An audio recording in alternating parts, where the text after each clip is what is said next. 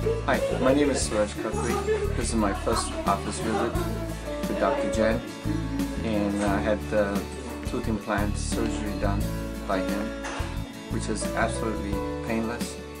Next morning when I got up, no pain.